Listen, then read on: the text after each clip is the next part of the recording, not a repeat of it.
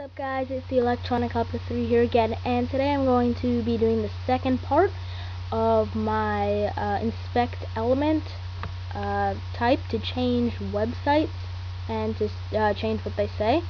Okay, um, today I'm going to be showing you how to edit the pictures. Last week we covered the, or last time we covered how to change text, this is how to change pictures.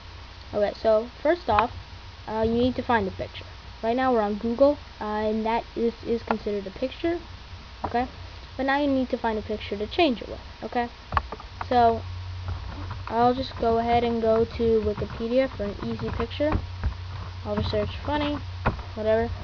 And you can right click on the picture, inspect element, right click on the link, hit edit attribute, and copy it and so that link is copied. Make sure you only hit edit attribute on the link, not anything else. And now, what you can do, you can right click on the picture of Google, inspect element, find the link, the one that's underlined, and it'll show you a little picture right above. Right click on that, edit attribute, and paste.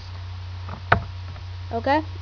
So, um, just a reminder, um, this um, works with Google Chrome, but it is uh, very simple. What you can also do, change the height and width of a photo. You can see here the width, 275. We can make that a 1,000, really big.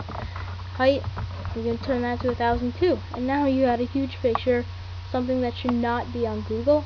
Okay, so that is how you change uh, pictures on using inspect element and you can do this on any website with a picture please check out my other video to show you how to do it with text.